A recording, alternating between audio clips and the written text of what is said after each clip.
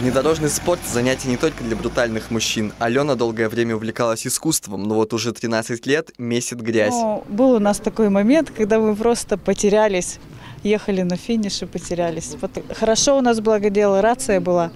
Мы связались по рации, они потом нас спасли. Вот это экипаж «Зайцы». Вот мы запомнились этим.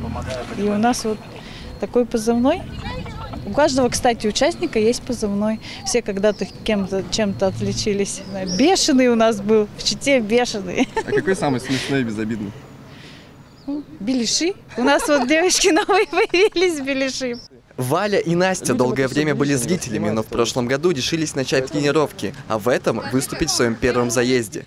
С прошлого года активно вот э, начали ездить. Зрителями С вами. изначально Сначала ездили. зрителями, и тут вот все-таки мы Рискнули. Как у вас настрой?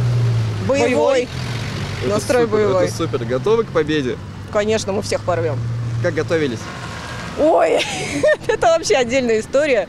Мы искали доски, Лопаты. лопаты. Где что покупать. э, Фонарики, каски, помогали, что нужно, ничего не рации. было, и нам пришлось все абсолютно приобретать. Главная задача участников – собрать как можно больше точек на карте за ограниченное время. Каждая метка отличается по сложности. В зависимости от этого начисляются баллы. У них легенда, в которой все точки собраны, список, ну, каждая точка с GPS-координатами.